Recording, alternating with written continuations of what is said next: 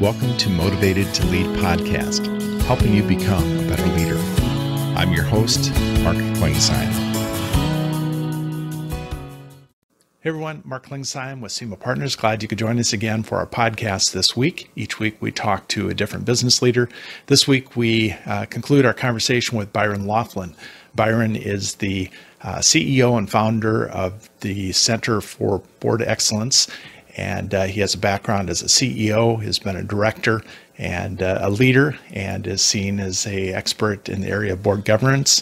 And uh, we're looking forward to our second part of our conversation with Byron this week. What advice would you give that person, kind of moving into more of a uh, tension-filled environment? Well, that's going to be a challenge. I, I would also, um, I mean, realistically, if this is in most business and even some not-for-profit environments, you want to have some sort of legal resource. And when I say that, someone with legal experience is usually in any business or not for profit area, there's usually a friend or a lawyer that's that's nearby that you can you, depending on the exact situation, you, you may need to retain this person more as a consultant than as a quote lawyer right. and and get good legal advice on how to proceed.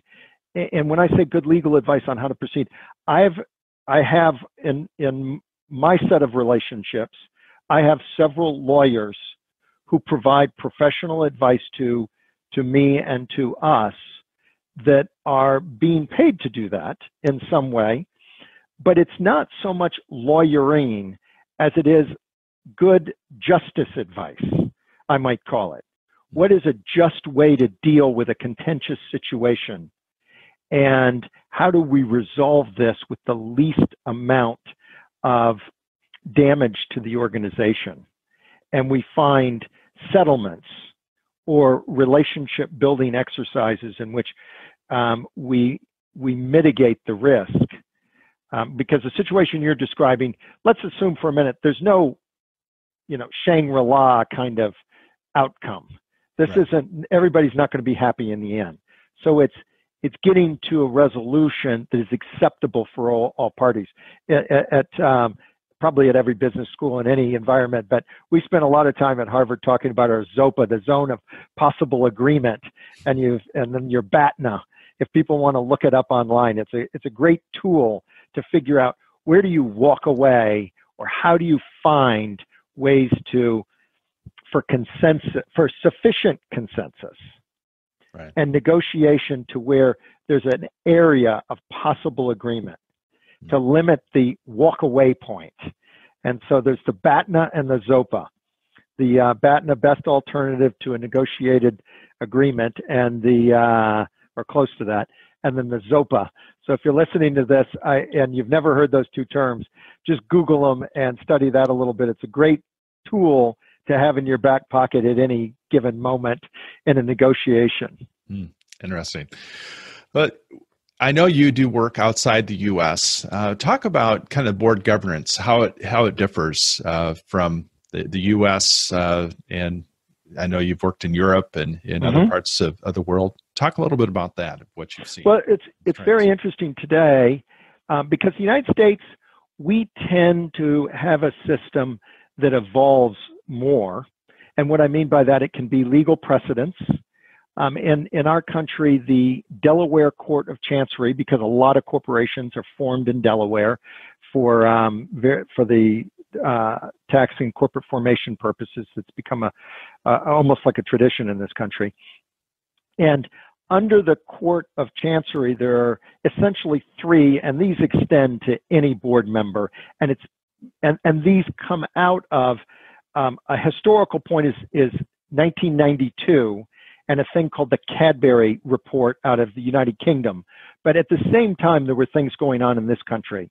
Uh, Bill George, who's now a professor at, at, at Harvard, um, was also initiating activities at Medtronic, and other companies were doing this kind of thing about what are the duties of a board, and it's duty of care, duty of monitoring or oversight, and duty of loyalty.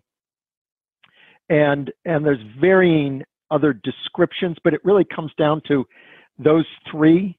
And I think the first one is fascinating to me. And if if you're interested, we if someone's interested listening, the we wrote a, a short piece, but I think it's I, I hope it's pretty good on the duty of care because it's a fascinating word. The notion of care. Hmm. I mean, think about how much a mother cares for her child. Well, it's similar to way a board member should care for its organization. I mean, there is a familia type of relationship between the leadership of an organization and an organization.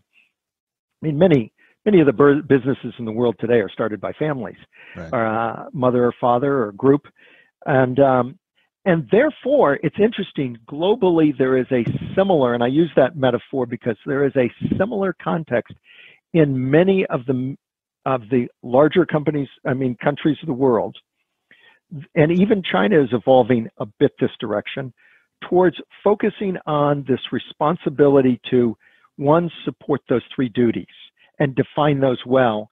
And then interestingly enough, there there I this started in simultaneous. We had started the Center for Board Excellence, um, and there was no one mandated a board assessment in in late 2010, the um, the United Kingdom Corporate Governance Code was released, and it mandated a board assessment at least every three years um, to be conducted by an outside party. Now, the New York, um, both the New York um, Stock Exchange listing, um, your agreement to be on the New York Stock Exchange, and the UK Corporate Governance Code required some sort of board of assessment, but usually that was kind of like an end of the session, um, quick. You'd fill it out on one page piece of paper. It wasn't what we consider today to be an assessment of the board, the board's culture, the mission and values. It's it's uh, and those three duties that we're talking about. It's much more intensively focused today on on how do we assess good corporate governance, and that's being done similarly globally. So the countries, particularly that um, the EU, for the most part, is uh, is following out of the Cadbury report in '92.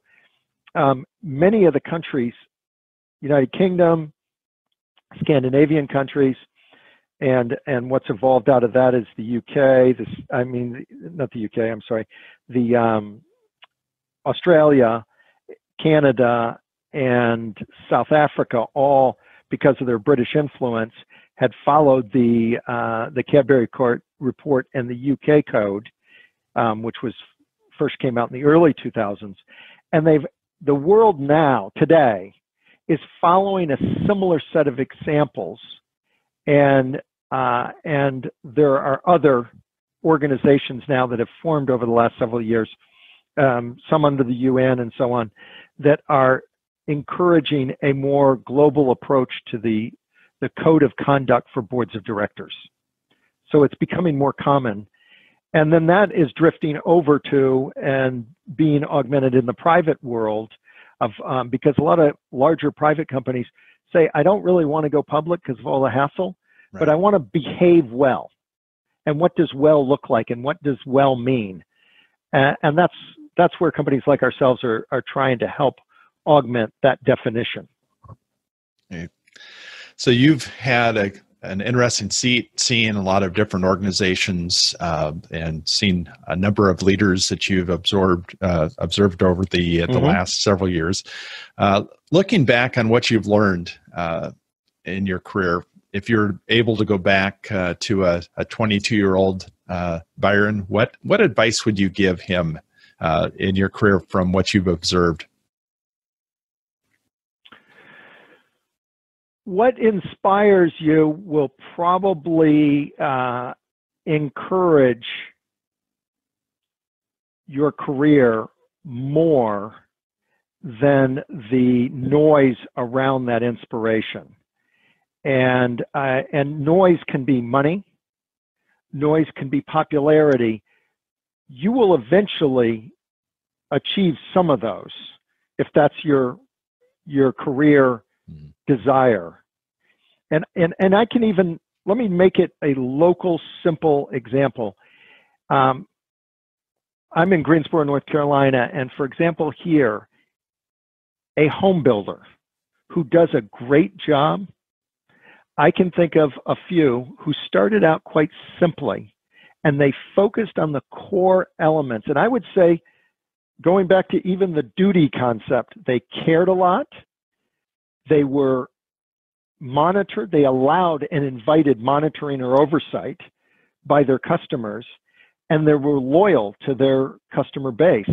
Mm. And today, they they are very successful, and some of them, if we follow that in other areas um, and in other businesses, I think we could find examples where people that have done that sort of thing have grown businesses to massive sizes and have solved big problems in the world in an excellent way. And it's it started with somebody being determined to to fulfill that vision that they had for their lives and that can be a great carpenter on a local basis or it can be um, developing a pharmaceutical or a device or in the case of someone like Elon Musk figuring out how to solve transportation issues so that it doesn't cause massive problems and and congestion in our world both from a uh, environmental standpoint and from a logistical standpoint. That's good. Well what what if you look back on on your career the importance of mentors and what you've seen with other ceos um, how important is for somebody that's kind of starting out or earlier in their career to have mentors around them I, I would call a mentor an imperative. Mm-hmm. Um, there's um, I'm I've been involved with uh, probably five key mentors in my life, and and right off the bat, I can uh, unfortunately a few have died, which is always sad. But uh, there's one gentleman that I'm involved with today, who um, who I knew at 15 and I'm involved in an organization that he is that's a leadership organization that he founded um, today, and uh, and doing very interesting things in the world. And I wouldn't be where I am today w- without those mentors. And my accountability to my vision for life and helping others would not be where it is today without those mentors. And and I'm I don't think I would be happy without those mentors. They're reminders. Um, they're that positive voices mm-hmm. that I hear in in my head, particularly when I'm down or feel like uh, circumstances are difficult. I hear mentors in my life say, "You can stick in there. You can overcome this." And uh, and I think that's an important thing to have those kinds of voices because too many times we've you know I think that all of us would resonate. We've got some sort of negative voice telling us why we can't do it. Right. We need to overcome those. And that's a key part of leadership. So, tell me about uh, just some of the influences outside of mentors, uh, books that you've read that maybe recently or in the past that you would say would be really helpful for a CEO or a board member to uh, to read. Well, a few a, a few that I find um, that I would put on the top, you know, almost imperative or required reading list would be um, uh, Good to Great is an is an excellent read. It's um, was I think he released that in 2005. There's a book by Cynthia Montgomery named The Strategist. It's relatively short and pretty quick read. Um, if you're a private company or a family company, then I would suggest Generation to Generation by um, John Davis, a very good uh, book, and, and a professor of mine at one point. Um, a couple books that Jay Lorsch has, has written on uh, on board. He is a specific board expert, and he wrote one back to the drawing board that I would recommend.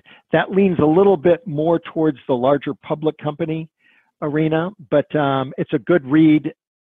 And then uh, Collins followed up with a book called Great by Choice. And um, and then I, I'm a, I'm a big um, fan of some of the Eng, of, of, a few English authors, and um, I happen to be a big Tolkien fan. Um, if if one has ever had a hankering to read Lord of the Rings, I think there's lots of leadership and culture lessons all throughout Lord Lord of the Rings. So if you've never read it, um, it's summertime. That's a that's a good read. Um, so those are a few that I'll throw out that are off the top of my head. I um, I happened to be in, in uh, Oxford, England last week, and I walked by a pub called the Eagle and Child, where a little group of authors named the Inklings used to gather, huh. and uh, they would read read each other's manuscripts, and that's uh, two of those key authors was C.S. Lewis. I'm a big fan of some of his writings, and then also um, Tolkien, and the, two of them and some others would would gather and read their manuscripts there, which is a pretty cool thought. Not a bad idea to have like a small group that you sure. get together with um, regularly and talk about ideas. Mm, good. So outside of work, I think it's always important when I talk to CEOs. It's always interesting to hear what they do outside of their uh, their work and the importance of uh, having some other interests. Uh, tell me a little bit some of your outside interests. Um, I um, I'm I am a a big reader and I uh, and I enjoy study. So that's a that's just kind of a natural part of what I spend my personal time doing. Uh, in my little office at home, I'm I'm often in there studying away on fun parts of, of literature and and uh, and history is a, right now I'm reading Robert's book on Churchill, which is a great read. If you, um, but that's that's a heavy read. It's about 1,600 pages. You got to be a big Churchill fan to plow through that one.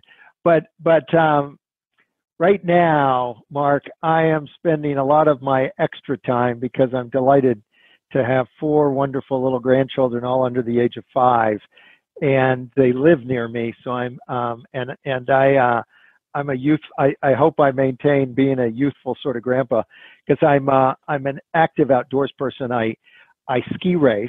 I'm okay. an alpine. Wow. In college, I was an alpine skier, and so I continue to do that. So I look forward to teaching them how to ski, and I I get out and ski with friends. Um, do a lot of hiking uh, my wife and I do a lot of hiking, and I and that's a I think that's a great leadership activity because it it helps us um, experience the benefits of the world that we have around us. And uh, I'm an outdoorsy kind of person, though. I do I'm game for about any kind of sport that uh, that won't quite kill me at this age, but uh, I'll try almost anything that uh, that tests what I can do today in a sporting area but uh, play a little golf here and there, but I'm not particularly good. But get out more for the cultural piece to spend an afternoon with uh, four people from time to time is a is a good thing to do. Good. Well, any parting advice that you you would give somebody in leadership?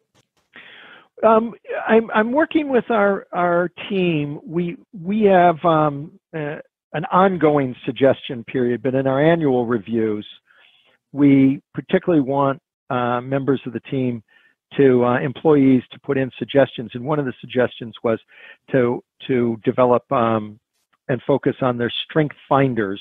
They all wanted to read strength finders. I'd started doing that on a um, on a voluntary level for all employees. I, I offered to them that they that will buy them a copy of strength finders and then take the test and then I'll meet with them.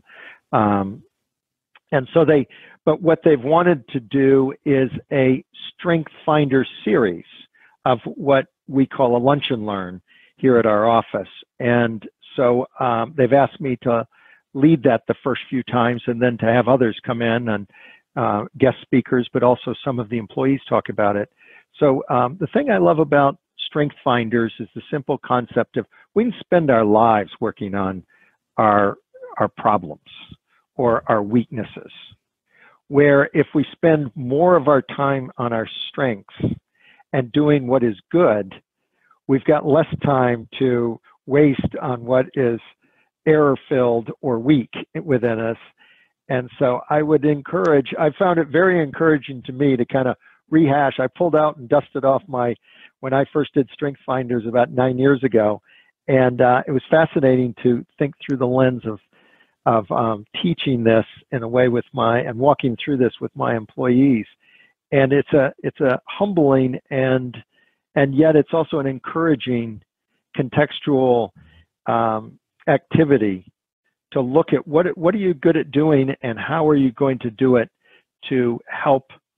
And frankly i think today we have an unusual opportunity to advance and to do more good for our civilization than ever before in the history of mankind and uh, kind of going back to the notion that let's all pull together and uh, widen the prosperity base as wide as possible and change civilization together.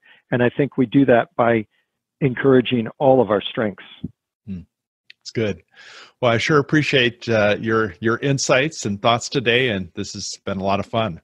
Well, thank you, Mark. I really appreciate you having a podcast like this and encouraging this sort of thing. I hope this is helpful for someone out there. Thank you for listening to the Motivated to Lead podcast. Please subscribe on iTunes. You can also see a video version of this interview at motivatedtolead.com. This podcast is brought to you by SEMA Partners, helping you find your next great leader.